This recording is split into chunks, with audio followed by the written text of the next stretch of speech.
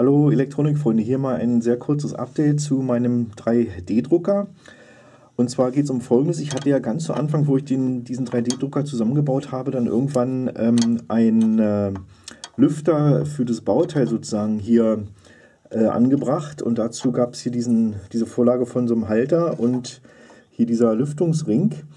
Ähm, der Halter ist mir jetzt kaputt gegangen und zwar äh, hatte ich ja damals auch oder seinerzeit gesagt oder gezeigt, dass der sehr schlecht gedruckt wurde. Naja, warum? Weil ich eben keinen Lüfter hatte zu der Zeit.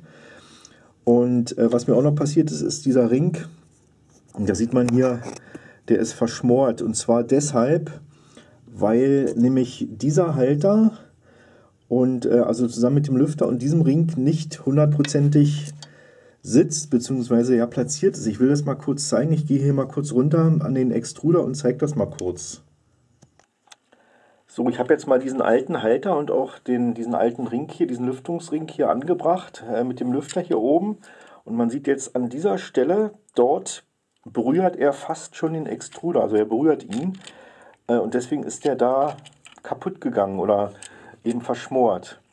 Und das liegt einfach daran, mal kurz hier nochmal rauszoomen, dass die Position des Lüfters hier, diese Position, die ist zu weit links. Die muss ein Stück rüber. Also um genau genommen, äh, also ich habe es mal nachgemessen, also 5,5 mm muss das Ding rüber. Und deswegen habe ich jetzt folgendes gemacht. Ich habe mir ein neues, einen neuen Halter äh, kreiert und auch gleich ausgedruckt. Und dazu natürlich auch gleich hier diesen Ring. Und jetzt passt das auch. Ich tausche das jetzt mal aus beziehungsweise ich zeige jetzt mal ganz kurz nochmal hier diesen alten Halter. Man sieht jetzt hier übereinander, der kommt ja so rein, dass hier dieser Steg zu weit links ist. Ich habe den jetzt also nach rechts verschoben, den anderen natürlich auch, da wo der Lüfter montiert wird. Und ähm, jetzt passt das alles. Ich werde mal jetzt hier den Lüfter an den neuen Halter anschrauben äh, und auch diesen äh, Lüftungsring sozusagen und dann zeige ich das gleich nochmal und dann sieht man auch den Unterschied. So, hier mal der, dieser neue Ring. Und man sieht, da ist jetzt, geht nichts äh, vom Extruder hier an den Ring oder so. Und auf der anderen Seite gehe ich auch nochmal hier das zeigen. Und zwar, wo ist er da jetzt? Da, also da ist auch alles frei.